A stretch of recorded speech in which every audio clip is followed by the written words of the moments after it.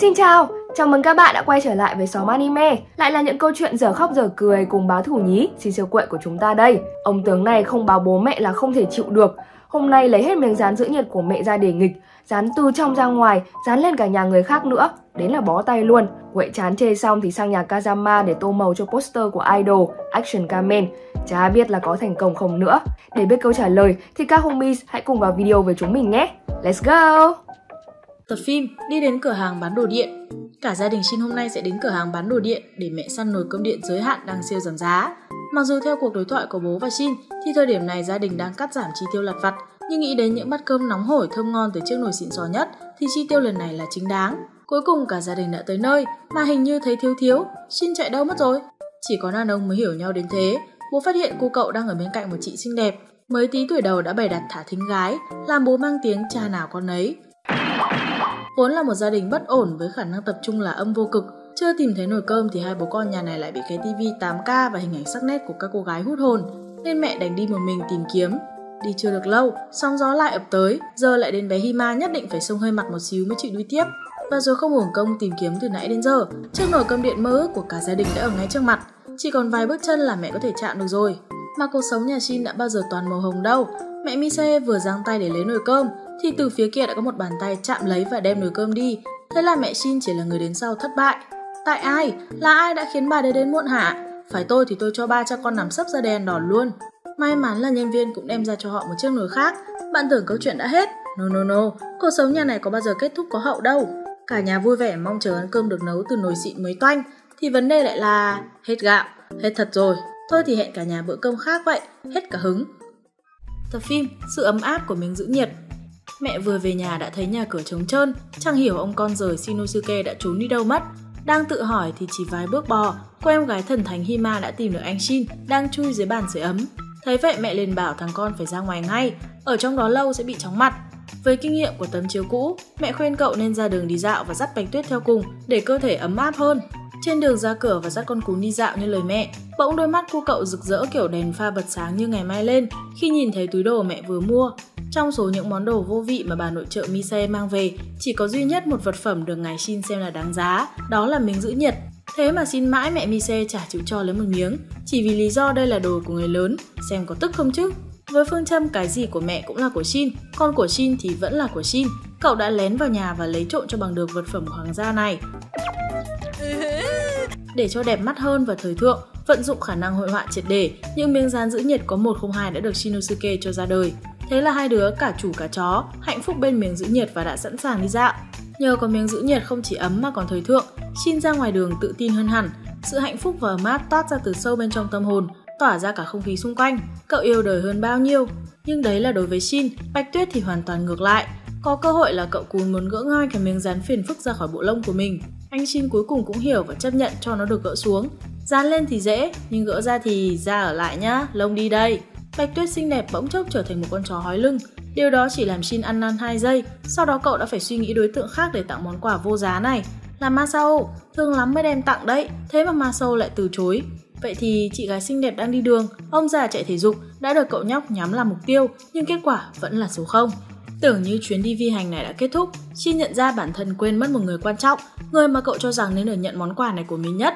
Thế là cậu cùng Bạch Tuyết chạy về vận tốc ánh sáng, đến nhà chị Nanako. Nhưng đáp lại chỉ có cánh cửa vẫn đóng im như vậy. Cậu suy sụp khi nghĩ rằng chị Nanako đang chịu giá lạnh ngoài kia và rất cần sự giúp đỡ của mình. Chờ rất lâu mà không gặp được chị, cậu đành gửi gắm những miếng dán giữ nhiệt lên cửa. Có gì chị sẽ nhận, sau đó phải chạy về nhà để coi chương trình yêu thích. Vừa về tới nhà và bật tivi lên, Shin thấy một cảm giác đáng sợ ở sau lưng. Cậu quay lại và mẹ đang nhìn với đôi mắt cháy bỏng. Sau đó, làm gì có sau đó nữa. Tập phim Tranh tô màu action Kamen Hôm nay mẹ đi trung tâm thương mại và đem về cho Shin một món quà mà cô cậu rất thích. Đó chính là những bức vẽ siêu nhân action Kamen. Ở với mẹ Mise mãi cũng có ngày này, xúc động thật sự. Cơ mà chỉ một lát sau, cô cậu đã thấy thiếu thiếu gì đó, chính là màu sắc. Tranh tô màu mà lại thiếu màu, cũng như Shin thiếu tiếng mẹ chửi mỗi ngày. Sau khi được mẹ giảng giải thì cuối cùng Shin cũng thông qua. Có niềm vui thì không thể giữ cho riêng mình được, phải gọi ngay Masao rủ tô màu chung mới phải lẽ. Sau đó rủ thêm Bo, cả đám quyết định sẽ đến nhà Kazama mà không cần hỏi ý kiến chủ nhà để tập trung cùng tô màu. Nhà bạn thì cũng như nhà mình ấy mà. Khi đã đến được trước bật cửa, Kazama vẫn không hiểu lý do vì sao mấy cái đứa này lại kéo đến đông đủ thế. Và chỉ vài phút sau, khi bọn trẻ gặp mẹ của Kazama thì đáp án đã rõ. Đồ ăn chính là nguyên nhân mà bọn nhóc lựa chọn nơi chiếm đóng. Sau khi ăn sô-cô-la, uống nước cam no nê hả hê cái mồm, xin đi về nhà mà quên mất nhiệm vụ chính là tô màu tranh siêu nhân. May mà Kazama vẫn còn tỉnh táo nhắc nhở.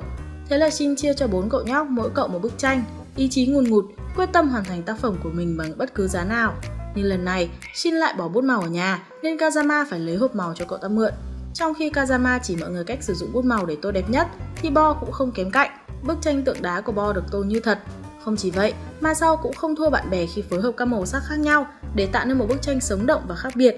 Còn Kushin của chúng ta thì sao? Không ngoài dự đoán, những nét vẽ nhem nhuốc và còn nhầm sô-cô-la thành màu nữa chứ. Đúng là cạn lời mà. Nhưng dù sao, mỗi bạn nhỏ đều có những bức tranh rất ưng ý cho mình. Khi hoàn thành xong thì máu nghệ sĩ lại trỗi dậy, ai cũng muốn có thêm tranh không màu để tô tiếp. Điều này đã được mẹ của Kazama đáp ứng bằng cuốn tô màu Moepi mà cậu con siêu tầm được.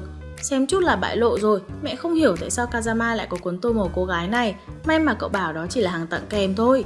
Đây có lẽ là tập phim duy nhất của hậu, không kết thúc bởi tiếng chửi của mẹ Mise hay thầy cô giáo nào, trộm vía. Tập phim Bùng nổ Nohara Ramen đây. Câu chuyện bắt đầu tại một thời điểm nào đó không rõ. Bấy giờ gia đình của Shin đang là chủ của quán Nohara Ramen. Shipper Shinosuke trên đường đi giao mì về đã hành hiệp trượng nghĩa, ra tay cứu một ông lợn kỳ lạ bằng món vũ khí mà ai cũng khiếp sợ, chiếc quần xịp 3 ngày chưa giặt của cậu. Trời ơi cứu tôi! Và cũng nhờ vậy mà cậu được tặng một món bảo bối. Theo như lời review sản phẩm của ông lợn, thì bảo bối này sẽ chiều hồi một vị anh hùng, cứu Shin qua khỏi cơn khốn khó. Vâng, đó là review thôi, còn thực hư thế nào thì sử dụng mới biết được. Shipper vừa về tới nơi đã nghe thấy lời than thở và ước gì quán đông khách lên của bố. Đúng là ước gì được nấy, cơ hội trời bàn đã đến, cuộc thi đại hội ramen thế giới sắp bắt đầu. Đây chính là bước đệm hoàn hảo để đưa Nohara Ramen lên đỉnh cao. Khách khứa xếp hàng dài 80 km, nếu chiến thắng nha. Và để giúp bố thực hiện điều này, Shin đã sử dụng đôi Maraka kia, một siêu anh hùng lợn xuất hiện và tự xưng là Burigiri Zaemon. Chắc là anh em họ hàng xa lắc xa lơ với Doraemon đây mà. Anh lợn nói rằng nếu nhà Nohara muốn giành chiến thắng thì phải trả phí giúp đỡ 1.000 tỷ yên. Khi nghe con số này thì Shin còn chưa kịp hình dung nó lớn cỡ nào, nhưng với tình trạng hiện tại của quán thì không thể đào ra được. Đột nhiên nghe tiếng ọt ọt phát ra từ bụng của anh lợn, mấy ngày rồi có được ăn cái gì đâu. Thấy vậy, Shin kêu đầu bếp bố làm ngay một tô ramen nóng hổi. Thấy Shin để ngón tay vào bát mì, Buri Buri Jaemon bực bội phàn nàn, nhưng vẫn vừa ăn vừa khen tấm tắc. Và rồi thông báo luật của đại hội ramen đã đến, cứ tưởng đâu chỉ là một cuộc thi nấu ăn bình thường, nhưng tác giả lại bắt phải nấu mì ramen rồi giao đến tận núi Himalaya. Các bạn không nghe nhầm đâu, núi Himalaya chính là địa chỉ giao đồ ăn dự thi đến. Vậy là gia đình Nohara lập tức khăn gói, đóng xe chở cả nhà đi dự thi. Không biết họ đã đi bao lâu, cuối cùng cũng đến được ngọn núi. Càng đến gần đích thì đối thủ càng đông. Ham muốn chiến thắng đã khiến cả nhà Nohara phải gắn động cơ báo động tránh đường bằng hai chiếc tất thối để đi nhanh hơn. Ai lỡ hít một hơi là chắc xỉu 7749 ngày mới tỉnh lại mất. Không hưởng công, cuối cùng Nohara Ramen cũng được vào chung kết nhờ món mì chuẩn vị của mình, đối đầu trực tiếp với robot AI Ramen. Trận chung kết diễn ra với sự đối đầu hết sức căng thẳng. Một bên là người máy với công thức được tính toán chi tiết, hơn nữa còn có kẻ phản bội chạy theo đồng tiền Buri Buri Diamond, và một bên là gia đình bốn người Nohara. Chính trong lúc tưởng chừng đã thất bại thì bên phía Nohara Ramen có một phát hiện chấn động rằng việc Kushin để ngón tay vào tô mì đã giúp nước dùng trở nên ngon hơn. Với phát hiện động trời này, Nohara đã chiến thắng tâm phục khẩu phục và khiến đối thủ vì ăn được món mì ngon quá mà sung sướng đến nỗi bay vào vũ trụ.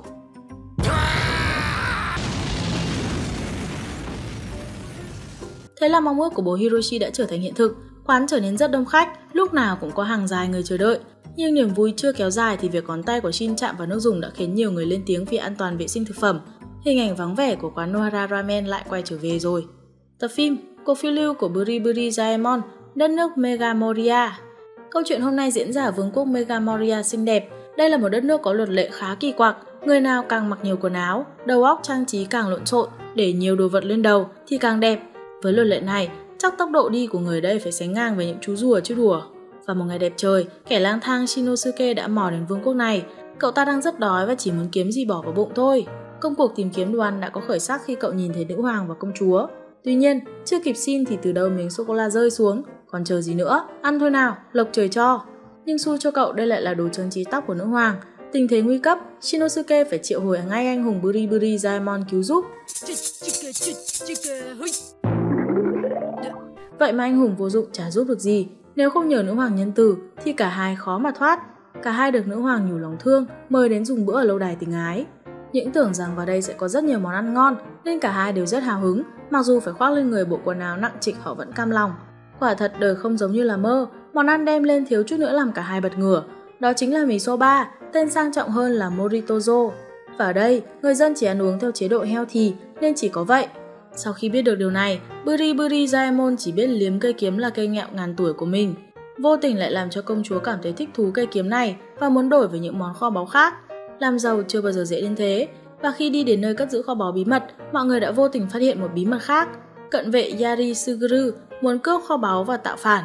Lý do bởi vì hắn không muốn mặc những bộ trang phục và đầu tóc nặng nề như vậy, mong muốn được cởi bỏ bộ đồ và cắt húi cua đã chiếm hoàn toàn lấy tâm trí hắn.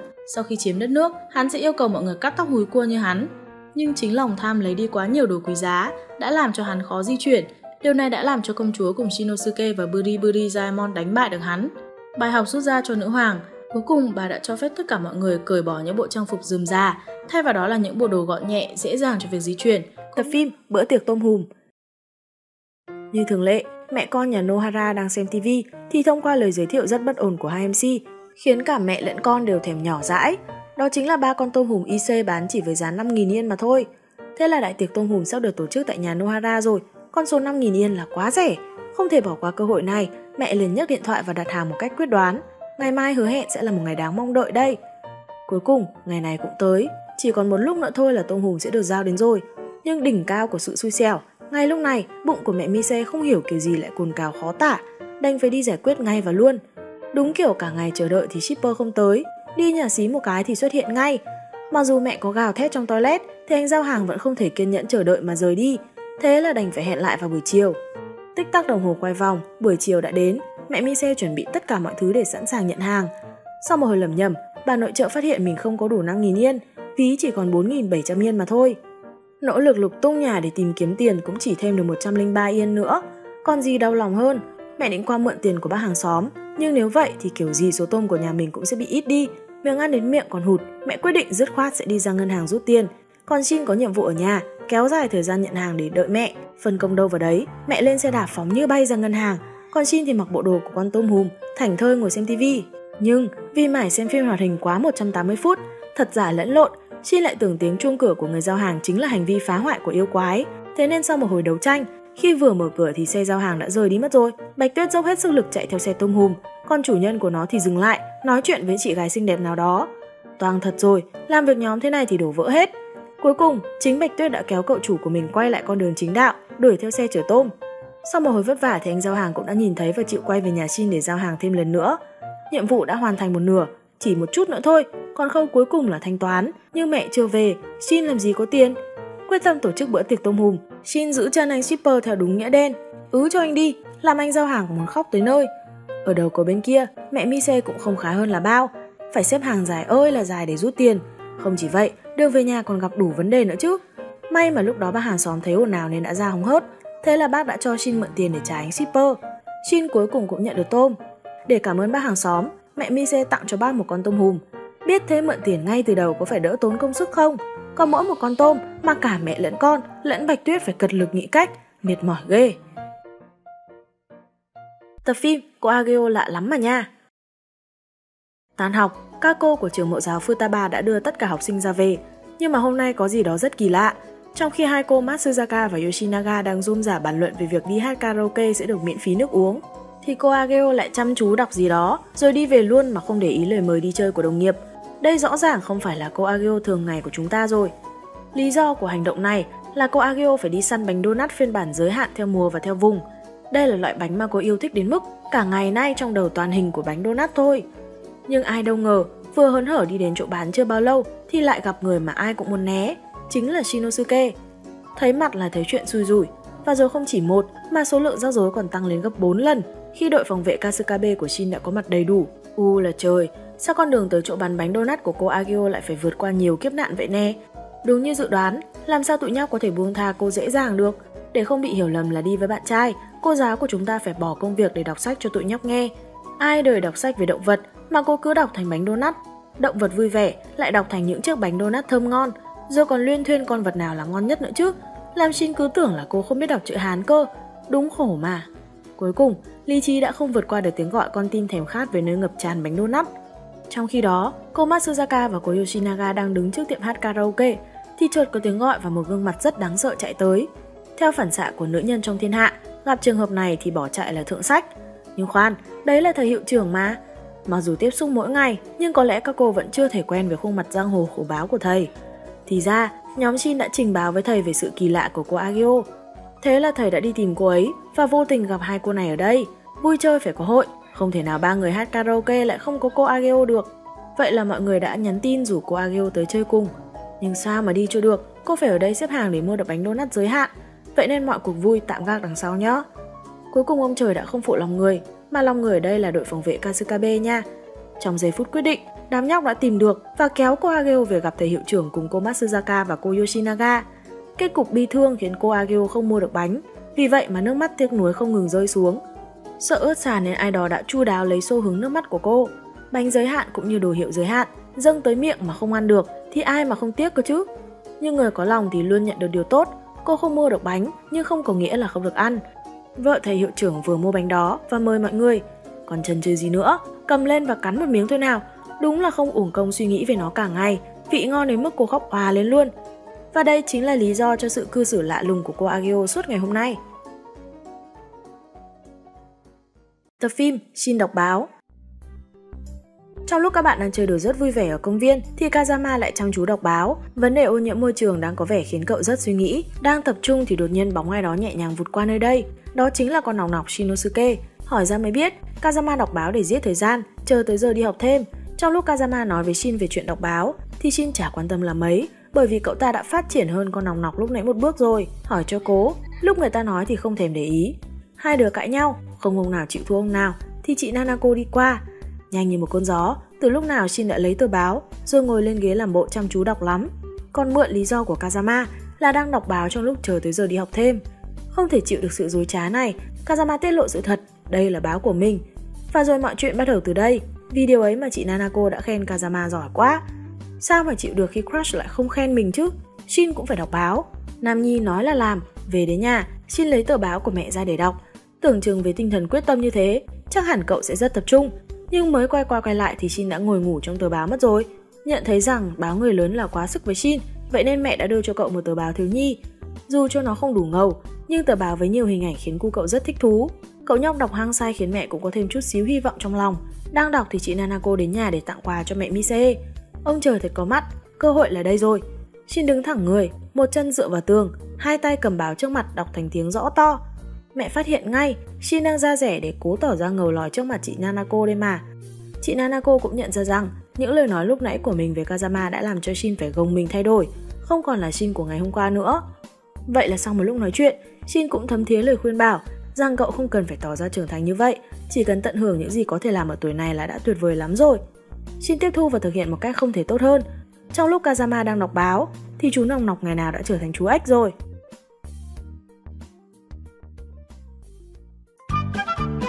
Tập phim Bố bị thủng quần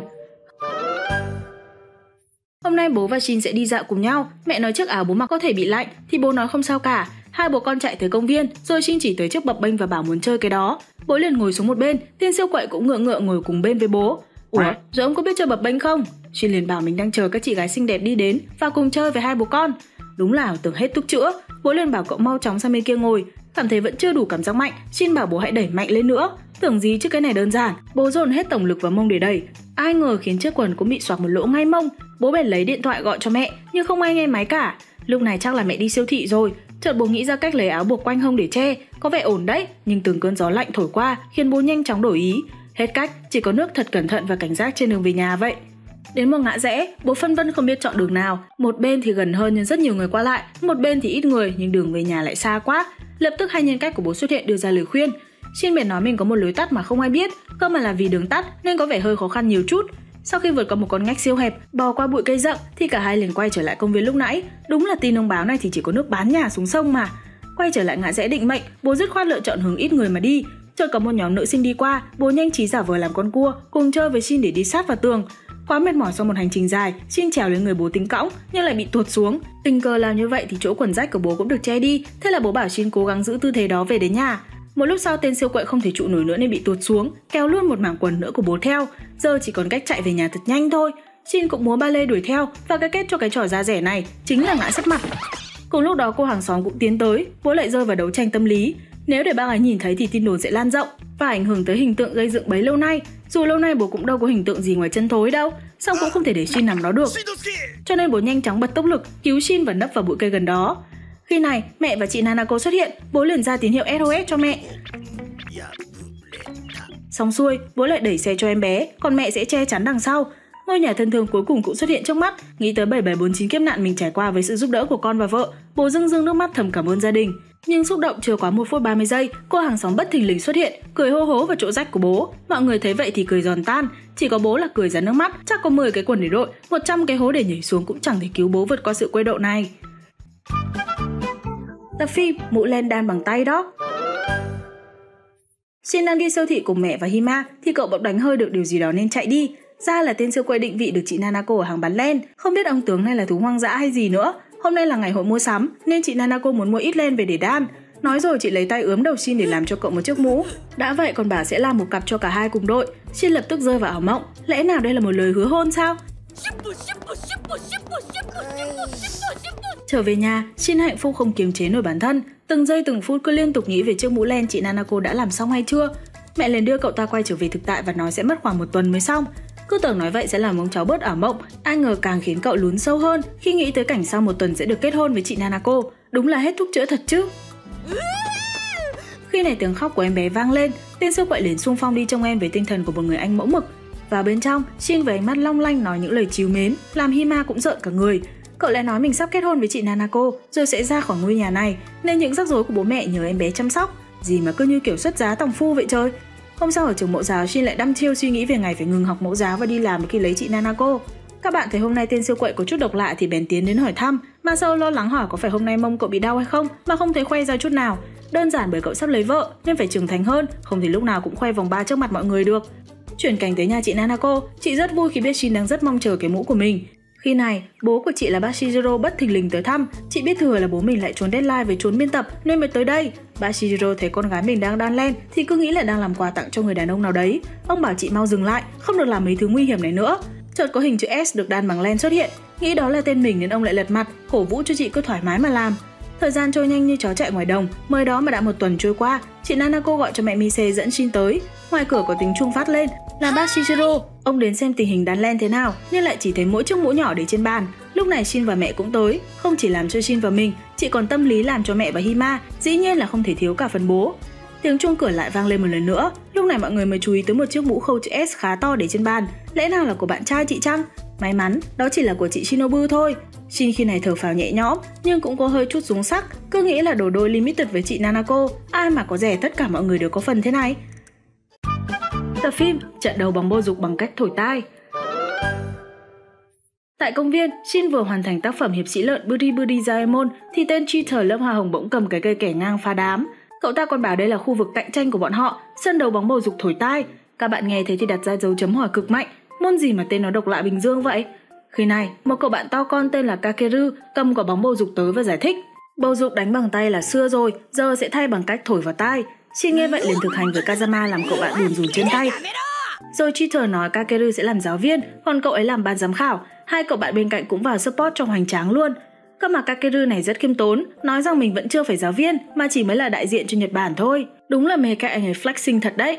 Rồi cậu báo khiêu khích, nếu nhóm Shin muốn cạnh tranh thì hãy đấu bóng bầu dục bằng cách thổi tai với bọn họ. Trong khi các bạn thấy vẫn mơ hồ chưa hiểu luật chơi là gì nên không chấp nhận lời thách đấu thì Kakeru đến khiêu khích Shin và ông tướng này đồng ý luôn không cần suy nghĩ. Trận đấu bắt đầu, Kakeru nhẹ nhàng ném bóng cho Shin để đội cậu làm quen trước, Shin chuyển lại cho Masao. Khi này, đầu cơm nắm cứ nghĩ là chỉ cần cầm bóng chạy đến đích là giành được điểm.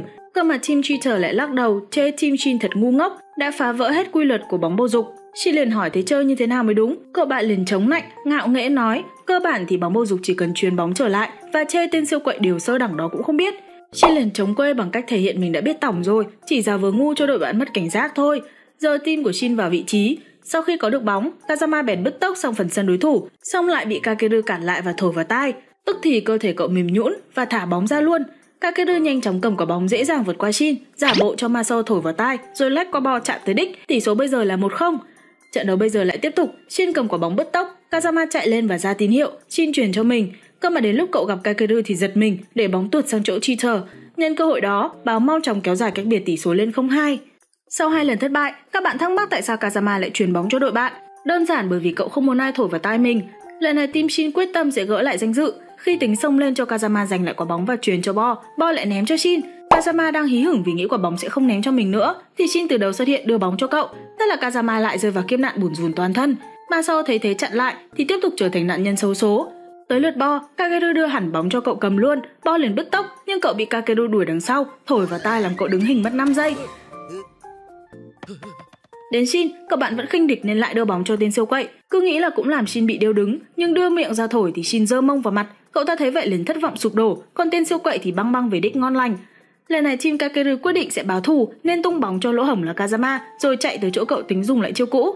Nhưng lần này, cậu bạn đã có kinh nghiệm nên thành công né liên tục. Cuối cùng thì Kakeru vật Kazama ra, tưởng thổi được thì Shin từ đâu lại đưa mông ra đỡ, cứu team một bàn thua trông thấy. Vừa mới lập công chưa được bao lâu, tên siêu quậy lại bóp chim khi thổi vào tai Kazama, làm cậu bủn rủn pat N.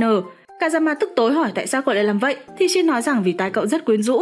Rồi Kazama cầm bóng đứng dậy, Shin liền chạy theo sau. Takeru thấy thế cũng dí theo luôn. Các bạn còn lại ngồi ngoài mà chẳng hiểu ba ông tướng này đang làm gì. Chẳng lẽ trận đấu kết thúc ở đây rồi ư? Tập phim Khi TV nhà tớ hỏng trên TV đang chiếu chương trình dự báo thời tiết rực lửa. Đúng như cái tên, biên tập viên chương trình đang cố gắng vừa kéo theo một chiếc bánh xe, vừa dự báo thời tiết ngày mai. Xin xem mà cũng hồi hộp theo và không ngừng cổ vũ cho chị gái xinh đẹp. Coi bộ phát thanh viên dạo này công việc vất vả nhỉ. Đang lúc gay cấn, TV chợt có dấu hiệu nhiễu rồi tắt ngúm không còn thấy gì nữa. Mẹ cầm điều khiển đến xem xét, có vẻ nó bị hư mất rồi. Ngày hôm sau, mẹ liền gọi thợ đến sửa chữa, tình hình sẽ mất khoảng một tuần mới xong.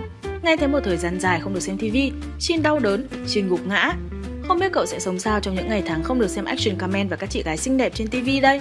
Một lúc sau mẹ mang bánh vào thì thấy Shin đang làm một chiếc khung TV, rồi cậu bảo mẹ mau mở chiếc TV chạy bằng cơm này lên.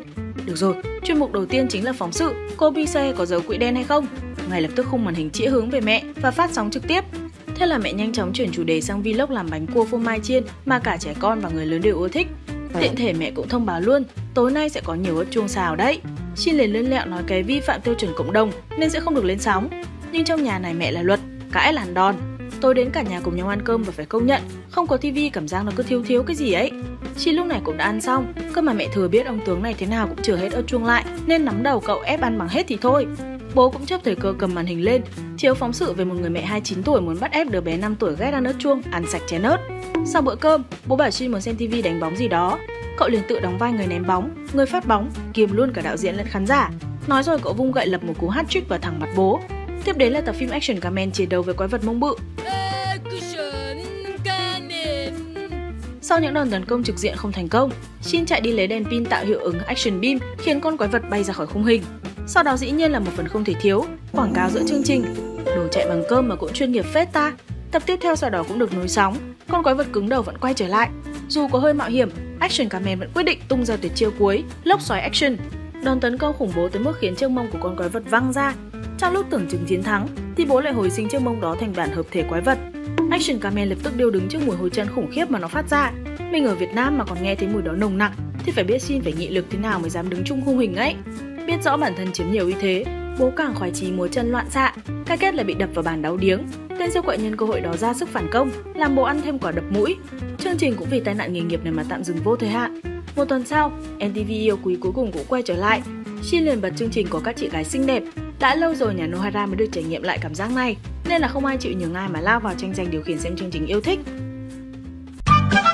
Tập phim Bức vẽ tuổi thơ bị xóa Tại nhà Kazama, Shin đang khẩn trương đi về vì Action Kamen sắp chiếu. Kazama liền đuổi theo bảo cậu bạn ở lại dọn dẹp đồ chơi đã, nhưng ông tướng này đã bỏ của chạy lấy người luôn rồi. Thế là Kazama phải tự mình dọn hết bãi chiến trường mà tên siêu quậy bày ra. Khi thu xếp lại các hình chữ cái, cậu chợt thấy thiếu mất 3 khối. Quay lại 27 phút trước đó, Shin đang bày trò chơi dưới gầm giường và đã kéo những khối đồ chơi vào cùng. Kazama bèn soi đèn pin xuống để tìm, quả nhiên là chúng ở đây. Bỗng cậu để tới bức vẽ nguệch ngoạc ở trên tường. Mấy trò như thế này thì chỉ có thể là tên siêu quậy bày ra chứ không còn ai khác. Ngày hôm sau không biết bằng một thế lực thần kỳ nào đó, Shin đã kịp lên xe buýt của trường. Kazama hỏi thẳng tại sao cậu bạn lại giấu chuyện đó. Shin vẫn ngơ ngác không hiểu chuyện đó là chuyện gì. Kazama đành nói thẳng về chuyện hình vẽ nguệch ngoạc dưới gầm giường. Tên siêu quậy vẫn chối đây đẩy, còn trưng ra bộ mặt ngây thơ vô số tội, cùng mấy lời xến sẩm làm cậu bạn nổi hết cả da gà. Dĩ nhiên là Kazama không đời nào tin mấy lời uy tín âm vô cực của ông cháu này, nên bảo cậu mau chóng xử lý hình vẽ đó trước khi mẹ mình phát hiện ra. Khi này, Maso liền đứng ra xung phong phụ hai bạn lau chùi. Chiều hôm đó đầu công nắm mang đến bọt tẩy không còn dấu vết đến. Theo như quảng cáo thì nó có thể xóa bất kỳ loại hình vẽ bậy nào. Bắt đầu vào công việc, Kazama sẽ soi đèn pin cho Maso vào trong lau.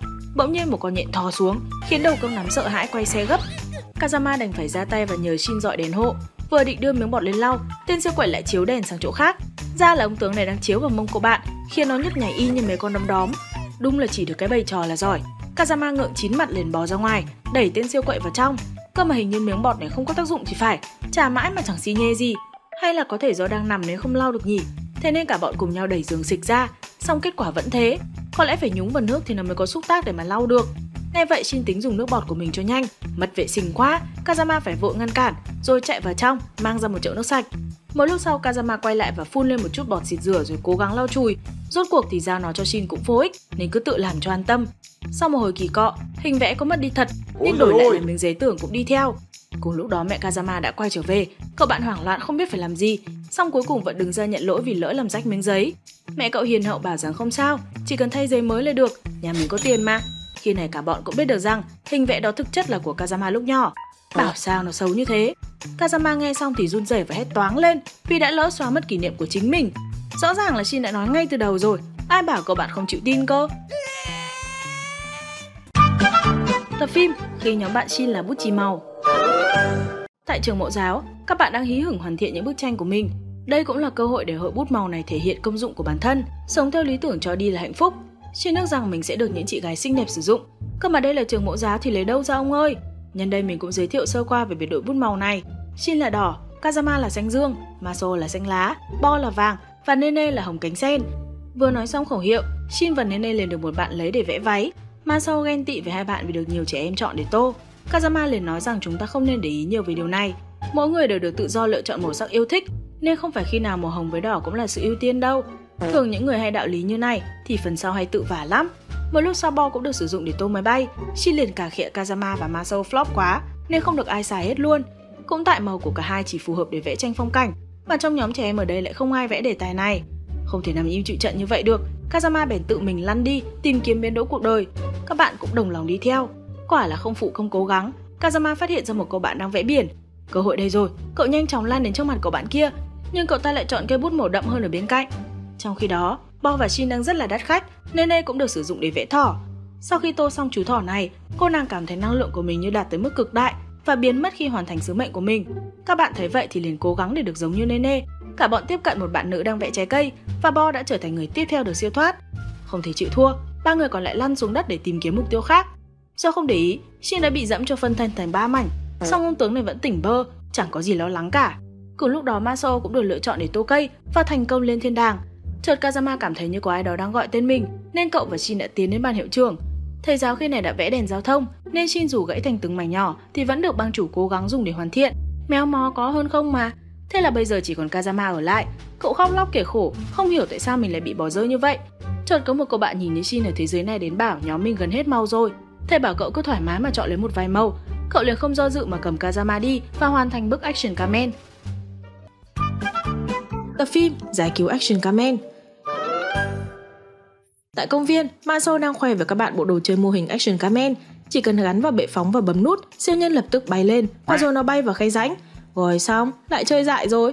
và so với tay vào nhưng không lấy được, Kazama bèn kiếm một cái cây để chọc. Tình hình có vẻ khả quan, cơ mà ông báo Shin lại từ đâu tới thổi vào tai, khiến Kazama phê lâm sàng, đẩy siêu nhân càng kẹt sâu vào trong. Kazama liền hỏi tại sao cậu ta làm vậy, đơn giản bởi đôi tai của chế quyến rũ quá nên biết sao giờ. Quay lại vấn đề giải cứu Action Kamen, Shin gợi ý cần phải dùng thứ nào kẹp được, và cậu mang đến hai con tôm hùng đất là Zari và Gani. Kazama liền bảo thay vì mang mấy con tôm, sao không mang cái gì có ích hơn? Hai con tôm nghe vậy liền tự ái, suy sụp thấy rõ. Tôi đau đớn, tôi gục ngã. Shin buộc hai con tôm vào một sợi dây rồi đứng từ trên cao thả xuống. Kazama cũng trèo lên hóng tình hình. Gani đã kẹp được cái tay của Action Kamen, tên siêu quậy nhanh chóng kéo nó lên. Kazama vui mừng vỗ vai khen tên siêu quậy, ai ngờ khiến cậu giật mình, thả rơi nó xuống dưới. Các bạn lại cùng bàn cách khác. Khi nẻ bo ngồi trên bục cao và cố gắng để nước mũi chảy xuống, cơ mà vẫn chẳng thể đến nơi. Shin lại tiếp tục đi gọi thêm viện binh mới, lần này chính là Bạch Tuyết. Cậu tính dùng chú cún đào hố để tiếp cận vào bên trong. Xong chưa được 1 phút 30 giây, Bạch Tuyết cũng phải giơ cờ trắng đầu hàng. Khi mọi cách đều đi vào tuyệt vọng, thì một nhân tố khác xuất hiện, không ai khác ngoài Nene. cô bạn liền nghĩ ra một kế sách cực hay, đó là diễn tiểu phẩm. Kịch bản sẽ là sếp và cô quản lý xinh đẹp bị mắc kẹt trong hẻm đá. Chồng cô là một người thợ chuyên nghiệp và đã cứu cả hai khỏi nguy hiểm. Nghe qua đã thấy xả lơ không giúp ích gì rồi. Nói rồi Nene đi nhặt mấy viên đá, ném vào cho action camera di chuyển. Ma sau òa khóc van xin hãy dừng lại, làm như vậy thì mô hình sẽ vỡ mất. Tức quá, cô nàng mắng đầu công nắm thay vì đứng đó khóc lóc, sao không tự tìm cách đi mà cứ dựa dẫm vào người khác hoài vậy? Trong lúc mọi người đều vắt óc chắt lọc idea thì tên siêu quậy bên này đang vui vẻ nghịch nước cùng Bạch Tuyết và Gani. Kazama tức giận bảo cậu mau nghiêm túc lại thì bị ông tướng này phun nước cho ướt người. Chợt cậu bạn để ý tới chiếc vòi nước bên cạnh, một ý tưởng chợt lóe lên, cậu dùng vòi nước xịt vào action camen làm nó di chuyển, xong lại bị vướng mấy hòn đá lúc nãy của Nene ném vào chặn lại.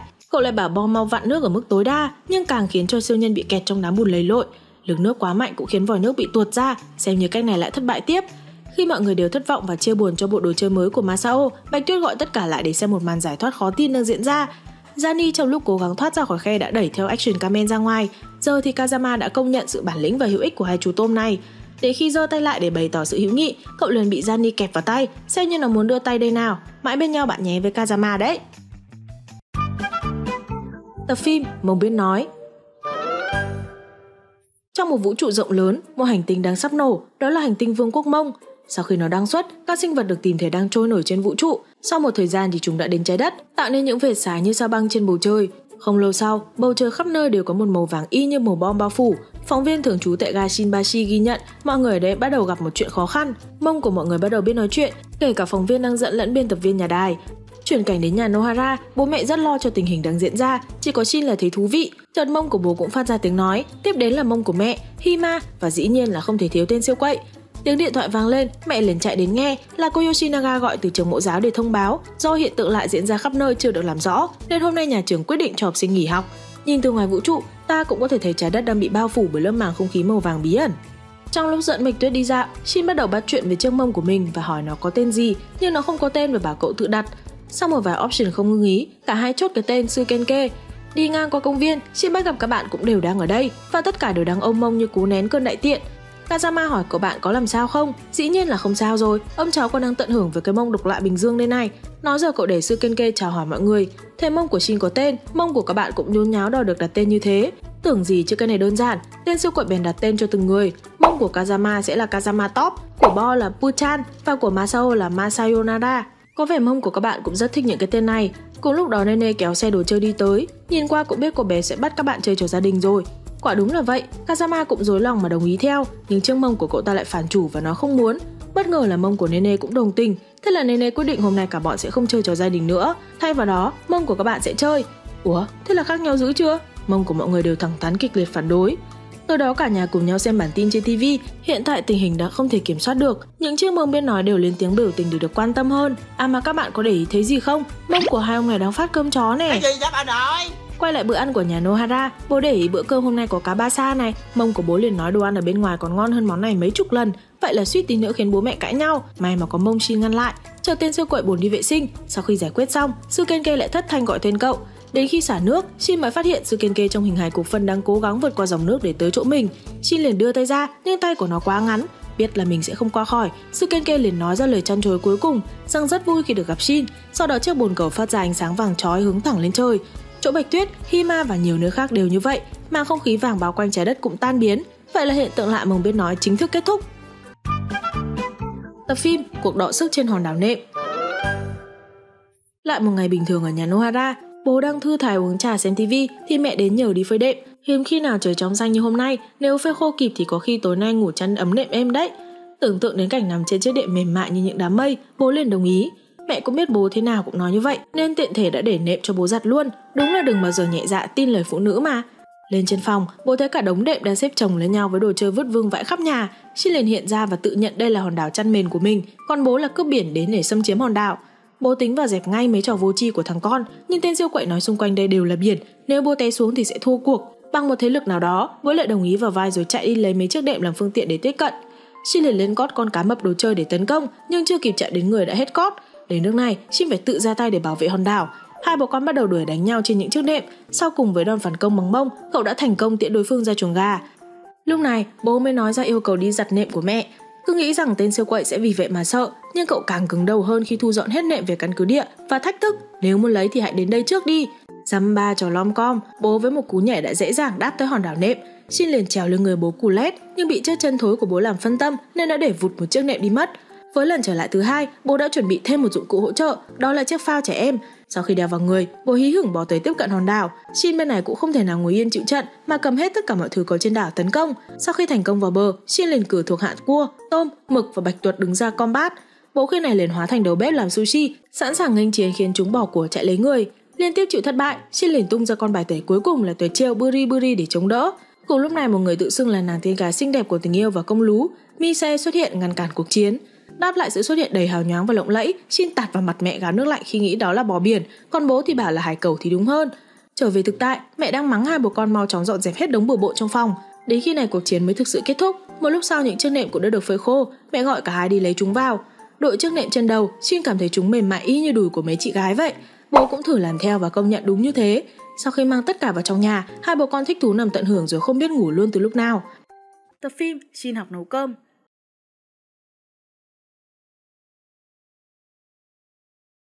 Mở đầu tập phim, mẹ Mise đang cho Shin nấu cơm. Lý do cho sự đường đột này dĩ nhiên là do mẹ nghĩ con mình cũng lớn rồi, nên tập nấu cơm cho biết đấy mà. Ủa, chứ không phải do hôm qua mẹ nấu cơm quên bật nút nên giờ chán hả? Bị nói trúng tim đen, mẹ liền đá sang chuyện đàn ông biết nấu ăn bây giờ đang là xu hướng và Shin sẽ được các chị gái bao quanh ngưỡng mộ đó. Nghe vậy, tên siêu quậy thích thú và không ngần ngại đồng ý luôn. Để nấu đủ lượng cơm, Shin cần cho khoảng 2 chén gạo vào, xong đổ nước đến mức số 2 là được. Sau đó đậy nắp và đừng quên nhấn nút như mẹ hôm qua. Ngày hôm sau, Shin về nhà thì thấy cửa đã đóng, thế là cậu ra vườn và đi vào từ cửa phụ.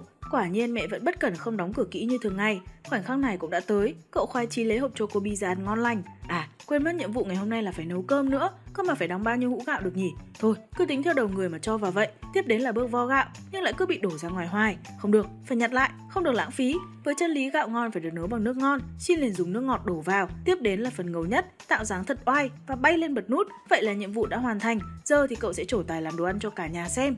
Mở tủ lạnh ra, cậu lấy được dưa muối và cá hồi, lục tủ một hồi, cậu tìm thấy rong biển cao cấp mà mẹ yêu thích, thử một miếng xem có độc không nào. Quả nhiên là món cao lương mỹ vị, rất thích hợp để kết hợp với món gạo luộc hôm nay. Một lúc sau cơm cũng đã chín, mùi thơm lan tỏa khắp phòng, cơm còn long lanh sáng chói, vị ngon thì phải nói là tuyệt cả là vời. Bước đầu coi như thành công mỹ mãn. Bắt đầu vào bước làm cơm nắm, xin bỏ cơm vào bát và lắc thành hình tròn. Cậu kết hợp nhiều nguyên liệu khác nhau và liên tiếp cho ra kết quả không hề tệ. Cậu mở bịch hỗn hợp mè rong ra nhưng lại mạnh tay quá khiến nó vương vãi khắp bàn. Áp dụng quy tắc 3 giây, cậu mau chóng dùng cục cơm lăn qua lăn lại để không bỏ phí. Cái này dễ cho bố ăn. Nhận thấy như này vẫn còn quá dễ, tên siêu quậy đi kiếm cua hộp để làm, xong có vẻ ca này hơi khó rồi. Không từ bỏ, xin hóa bà Tân Vlog làm thành một cục cơm nắm siêu to khổng lồ. Cậu tự hào mang ra khoe với Bạch Tuyết.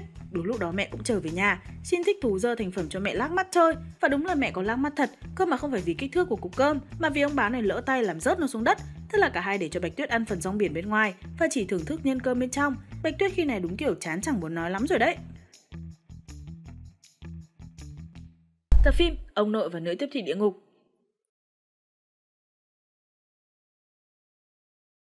Sau thời gian dài ở ẩn, người đứng đầu Mayutsuba về kết quả bán hàng, nữ tiếp thị địa ngục Kuriyo Sakuma 27 tuổi, độc thân, cung bảo bình đã chính thức quay trở lại và án hại, à nhầm, lợi hại hơn xưa.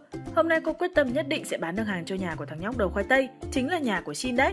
Chuông cửa vang lên, người đi ra là ông nội tên siêu quậy. Cô Kuriyo lập tức hoang mang vì người trước mặt hoàn toàn không có trong dữ liệu của mình. Song với khuôn mặt và cách nói chuyện ngu ngốc này, cô thầm nghĩ có lẽ đây chính là thằng nhóc đầu khoai tây chơi trò cosplay. Thế là cô lại chào hỏi rồi nựng cặp má của ông. Khi này Shin cũng đi ra, nhận thấy mình nựng nhầm người, nữ tiếp thị hối hả xin lỗi và vào hỏi thăm xem mẹ Shin đâu. Giờ này thì mẹ đã cùng Hima đi siêu thị rồi, có vẻ như kế hoạch không như mong đợi, nhưng không sao, cô sẽ đổi chiến lược sang bán hàng cho ông nội. Cô Kuriyo đưa danh thiếp và bắt đầu tư vấn cho ông, những người lớn tuổi thì thường muốn thay điện thoại di động bằng điện thoại thông minh, Tưởng gì chứ dăm ba mấy cái smartphone đó ông đã có lâu rồi, lại còn đang sử dụng hẳn mạng 5G luôn. Chưa hết, ông đang muốn bán một chiếc đồng hồ thông minh, có đủ chức năng gọi điện, email và cả chăm sóc sức khỏe. Nữ tiếp thị thích thú nhận lấy, Shin cũng nhân cơ hội này muốn bán luôn em robot lượng tử. Cô ta lại hào hứng muốn mua. Ủa, rồi ai mới là người đi bán hàng? Cô Kuriyo nhanh chóng cảm thấy nao núng và cảnh giác trước sự phối hợp của ông và Shin. Khi này bác hàng xóm đi qua, thấy có gì đó đáng nghi nên đã đi báo cảnh sát. Chuyển sang phương án 2, nữ tiếp thị lấy ra một camera giám sát hình con gấu được chạm khắc trên gỗ. Bên cạnh chức năng theo dõi tình hình, nó còn có thể chụp ảnh và in hình ra. Khi mua còn được khuyến mãi thêm một em robot Oguma nữa. Machine lập tức phát sáng khi nhìn thấy món đồ chơi này. Tình hình đã khả quan hơn, nữ tiếp thị liền đưa ra mức giá niêm yết biết là 30.000 yên, nhưng cô sẽ bán với giá ưu đãi 8.000 yên thôi. Trước những lý lẽ vô cùng thuyết phục, ông không ngần ngại mà chốt đơn luôn. Thấy đối phương đã mắc bẫy, nữ tiếp thị địa ngục vui mừng vì thời cơ trả thù cuối cùng cũng đã đến. Cô bèn giới thiệu một phiên bản còn cao cấp hơn là camera gấu size L dành cho phòng trà. Chất lượng hình ảnh của máy lên đến 8K, giá niêm yết là 300.000 yên, nhưng cô chỉ bán 100.000 yên thôi. Dĩ nhiên là không thể thiếu quà khuyến mãi là bốn robot Oguma này nữa. Ông nội lúc này đã thích quá rồi, cả đã cắn câu, cô cứ đi chớp thời cơ lấy hợp đồng ra. Đây quả là một cú lật kèo ngoạn mục. Chờ có tiếng điện thoại vang lên là của bà nội gọi tới, ông liền khoe mình sắp mua một camera giám sát hình gấu size lớn chỉ có 100.000 yên. Bà nghe vậy thì mắng trong một trận vì đã lãng phí biết bao nhiêu là tiền và mấy đô linh tinh, rồi ra lệnh cấm không được mua cái đó. Thế là ông quay xe không chút thương tình, nữ tiếp thị liền được trải nghiệm cảm giác đi từ thiên đường rơi xuống đáy xã hội. Cùng lúc đó bác hàng xóm cũng dẫn cảnh sát đi tới, cô ta liền bật hết tốc lực chạy trốn, xong lại đi vào ngõ cụt. Bạn nghĩ cô ta sẽ bị bắt ư? Không, cái danh nữ tiếp thị địa ngục không phải để trưng, mà nó thực sự có lý do cả. Cô xuất chiêu bão hoài hương, sau đó thì biến mất không một dấu vết. Khi cảnh sát quay đi, cô ta đứng trên nóc nhà cười nham hiểm và nói, ta sẽ còn quay trở lại. Tu Bi không tình yêu. Tập phim Kazama bị lạc đường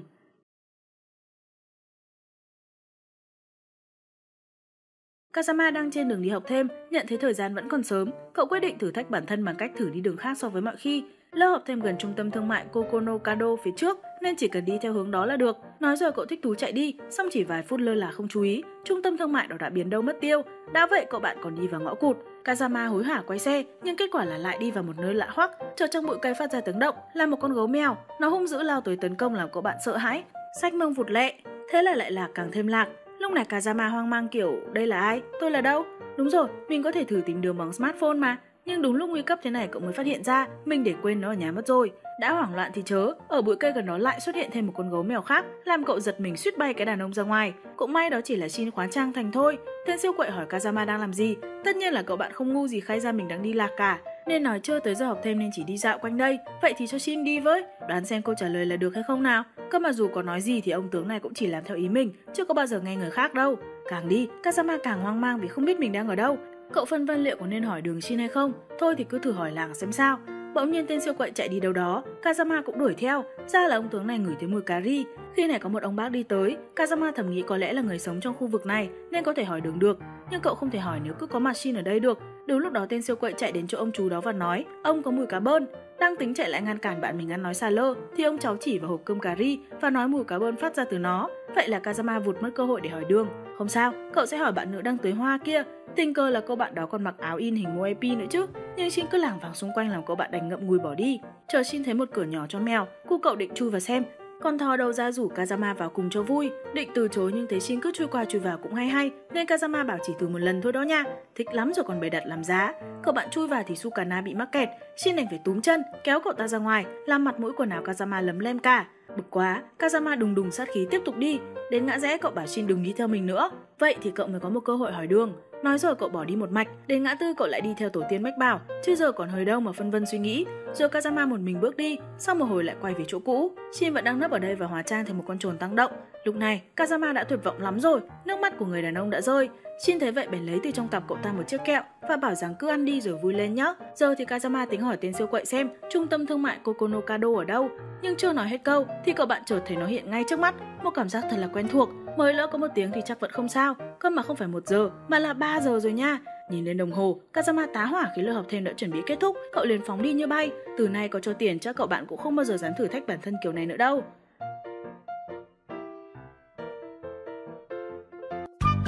Tập phim Ai-chan vs Ai-chan Fake Tại trường mẫu giáo Futaba, các bạn thắc mắc chị lại bày trò gì mà nằm bẹp dí dưới đất thế kia. Thì ra tên siêu quậy đang đóng giả một chiếc găng tay vừa bị rơi xuống đất. Không biết ông tướng này còn có thể nghĩ ra trò nào vô tri hơn nữa không nhỉ? Cùng lúc đó Ai-chan bất thình lình đi tới. Maso thấy vậy thì tiếu tít chạy lại hỏi thăm và hỏi chú Kuroiso đâu, sao không đi bên cạnh. Cạnh đó không xa, cụ thể là ngoài cổng trường, Ai-chan và chú vệ sĩ đang ngồi trong ô tô mà theo dõi qua màn hình máy tính. Hóa ra Ai-chan kia chỉ là một người máy được trang bị trí tuệ nhân tạo cao cấp nhất thế giới. Nó đã học luyện thuần thục cách ăn nói và cử chỉ của AI, thậm chí còn tiếp tục cập nhật không ngừng, nên Maso không thể nhận ra được sự khác thường.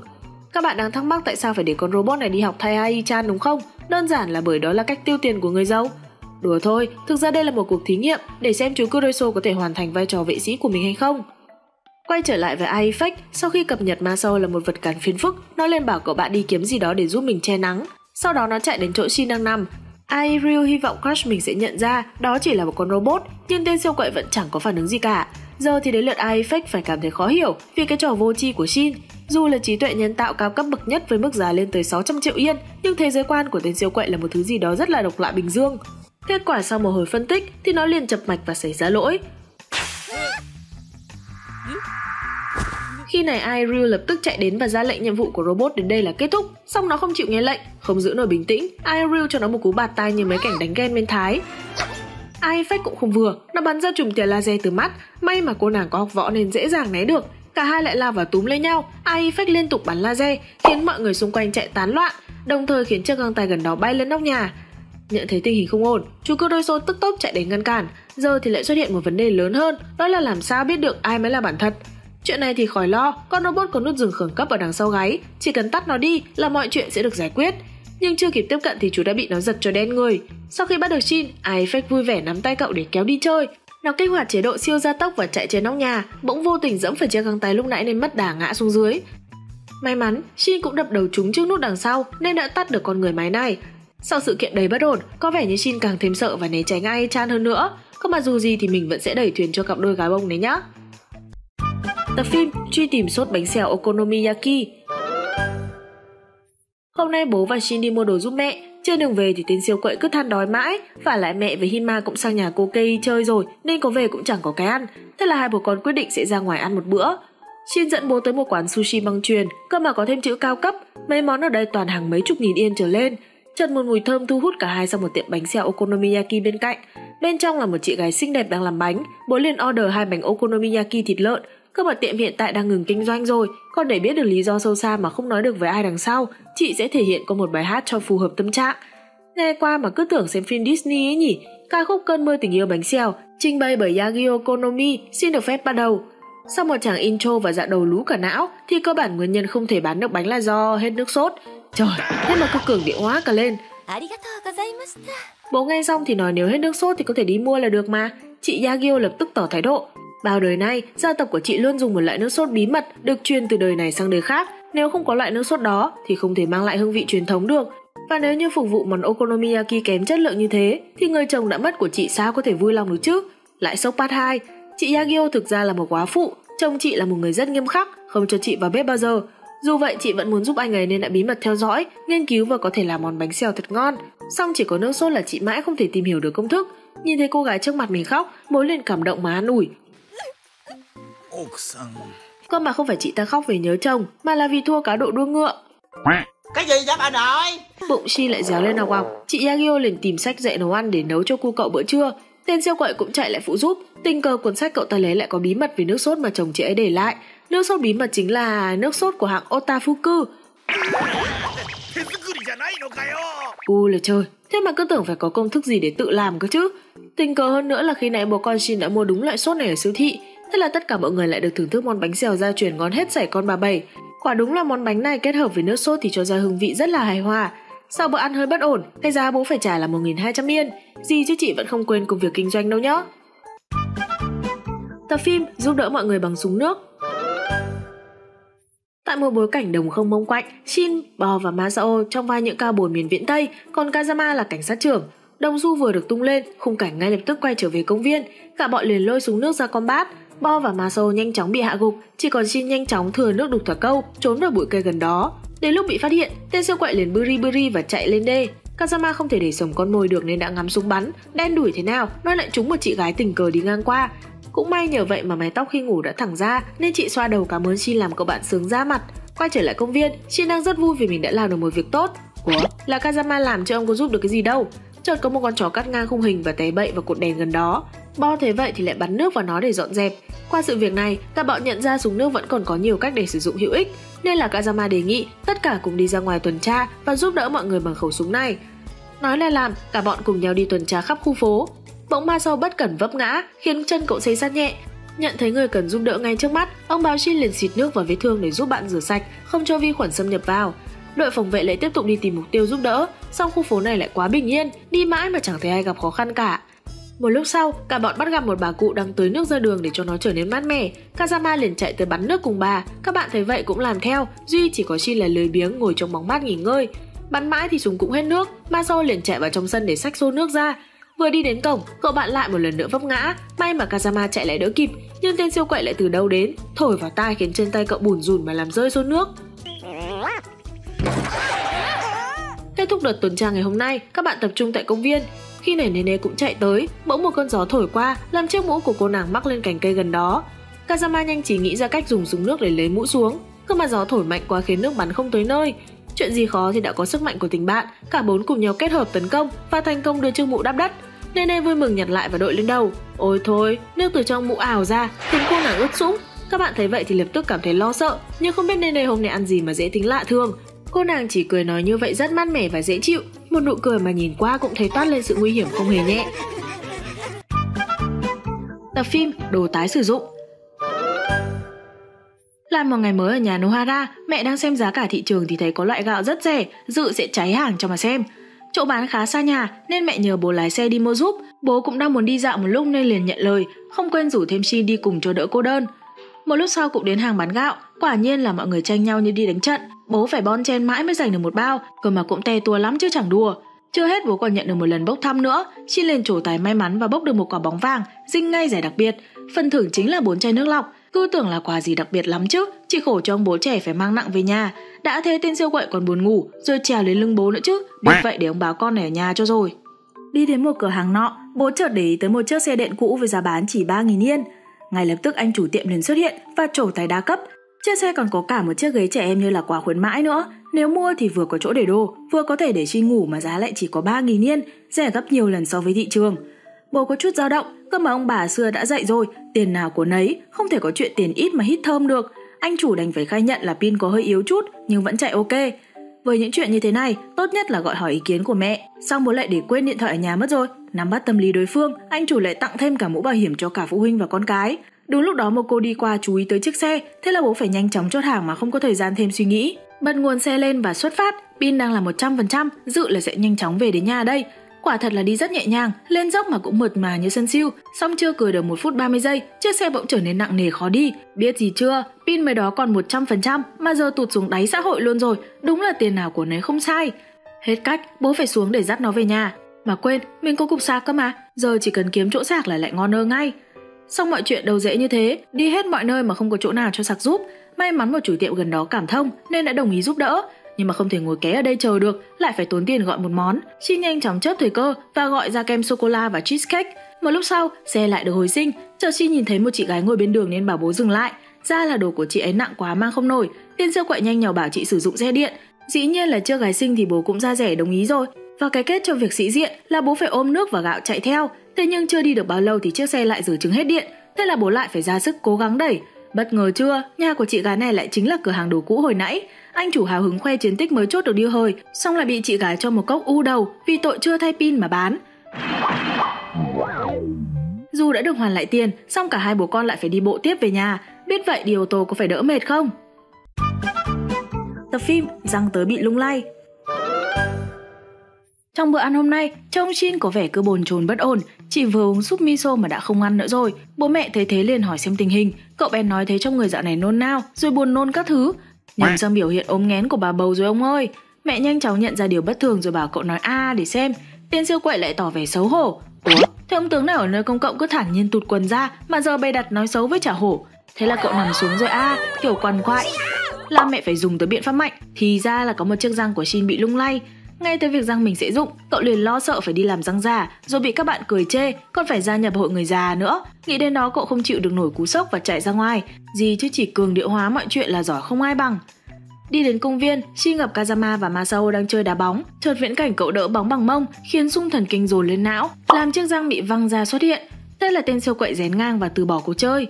Trên đường đi cậu gặp chị gái xinh đẹp đang phát kẹo cao su dùng thử thì chán luôn. Bỗng nhiên một ông lão hắt xì hơi, khiến răng giả như súng thần công văng ra ngoài, làm ông cháu phải tức tốc gạt cần số và chạy. Đang bất lực trong suy nghĩ có thể mình sẽ giống ông lão đó, Shin cũng gặp được ánh sáng của đời mình. Người giúp cậu ngay lập tức tươi tỉnh như chưa có chuyện gì xảy ra, không ai khác ngoài chị Nanako. Xong niềm vui chưa kéo dài được bao lâu thì chị lấy ra từ trong túi một chiếc bánh gạo kim cương với độ cứng chưa từng thấy. Tên siêu quậy lại nghĩ tới cảnh vừa cắn được miếng bánh thì răng đi hàm ở lại và chị Nanako sẽ không thể cưới cậu được nữa. Vậy nên, ông cháu đành cất lại sự rung động của trái tim vì lý tưởng cao cả hơn, rồi chạy đi khiến chị Nanako toàn dấu chấm hỏi. Ủa gì vậy? Có vẻ như cả thế giới đang cố gắng chống lại chiếc răng của Shin vậy Chắc thường ngày quậy phá khắp nơi nên giờ nghiệp nó tới chứ sao về đến nhà, bố mẹ liền giải thích cho tên siêu quậy rằng sau khi răng rụng, một cái răng người lớn mới sẽ mọc lại và đứa trẻ nào cũng phải trải qua điều này. Giờ mới vỡ lẽ, cậu trách bố mẹ sao không chịu nói sớm để lỡ mất bao nhiêu cơ hội ngàn vàng. Ủa, là do ai chưa kịp nghe gì đã ô dề bỏ đi vậy? Shin bắt đầu tưởng tượng ra chiếc răng người lớn sẽ mọc lên, phải chăng nó sẽ y như răng hải cầu, ngà voi hay răng hải ly? Bố phải show ra bộ hàm của mình cho cậu hiểu. Hay, thật vọng quá. Thôi, không nói nhiều nữa. Bố bảo mẹ mang sợi chỉ ra để giải quyết chiếc răng xấu số này. dễ phút căng thẳng bắt đầu, xin xin bố để mình canh thời gian. không ông tướng này cứ kiếm cớ để câu giờ. Đến lúc bố giật thì ngậm sợi dây lại. Hết nói nổi, Hima nhìn mà cũng ngơ ngái không chịu được. Em bèn lấy ra một chiếc gắp đồ chơi để phụ giúp bố. Mẹ cũng đứng dậy để hai bố con tự xử lý, nhưng lại dẫm phải mô hình khủng long nên ngã nhào xuống, vô tình đè lên sợi dây. Nhờ vậy chiếc răng cũng được kéo ra ngoài. Đúng là trong cái rủi cũng có cái hay nha. Tập phim dọn dẹp trường mẫu giáo Hôm nay các cô giáo quyết định sẽ tổng vệ sinh tại trường mẫu giáo. Vừa mở kho ra, bên trong chất đống đồ đạc với mạng nhện răng kín. Bên trong toàn những đồ mà thầy hiệu trưởng bỏ tiền ra mua. Dù có hơi tuyệt tình chút, nhưng mà để lại cũng chẳng để làm gì, nên phải xử lý hết cả cho gọn gàng. Chờ từ trong góc, một chiếc đầu rồng di chuyển làm cả ba sợ xanh mặt, chạy ra ngoài. Các bạn trong đội phòng vệ cũng chạy tới, và người đứng sau con quái vật kia, không ai khác ngoài Shin. Thì ra cả nhóm đang chơi trốn tìm, nên tên siêu quậy bền trốn trong nhà kho. Quay trở lại công việc, để tránh bị đám siêu quậy nghịch ngợm, cô Matsuzaka đã vẽ ra ranh giới ngăn cách, nhưng sai lầm của cô là xem thường độ danh mãnh của đám học trò này. Với bộ óc IQ vô cực ngấm sâu trong máu, Shin liền vẽ đường kẻ bao quanh thùng đồ. Cô chỉ bảo mình không vào bên trong đường kẻ thôi, chứ có nói là đường kẻ nào đâu. Lạch luật thành công, ma sâu liền mở chiếc thùng nhỏ ra trước. Người ta thường bảo những cái nhỏ thì hay có võ mà. Chiếc nắp vừa mở, một con thú nhún bật ra. Cả đám giật nảy mình suýt cái là bay đàn ông ra ngoài, nên nơi tức giận liền lấy búa tẩn cho nó một phát ra bã. Tiếp đến là chiếc hộp lớn hơn, cùng lúc cô Yoshinaga bê đồ đi ra thì thấy các bạn đã cosplay thành 7749 nhân vật khác nhau.